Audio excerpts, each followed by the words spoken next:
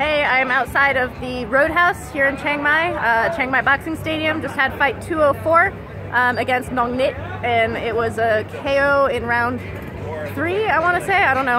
Uh, but Kevin played it over for me on the live feed so that I could see that the elbow came before the knee because I thought I knocked her out with the knee and the elbow followed. So it goes to show in a fight, when you're the one fighting, you have no idea what's going on. You have to ask people outside of the ring what happened. Uh, but it was cool. I got to see uh, Palm, who owns Lanna Muay Thai, and I haven't uh, had her at a fight of mine in a long time, so it's really exciting to have her there. And my mom and brother are still here.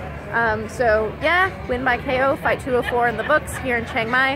Um, I was a total jerk coming out of the ring because uh, in this fight I had the opportunity to try different things, which I did do.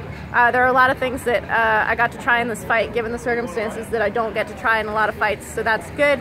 Um, but there's a lot of things that in my head I wanted to do and it wasn't coming out in the fight, so I came out of the ring and was like, I didn't do the things I wanted to do. Don't be that guy. I don't want to be that guy. But thank you guys for watching the live feed.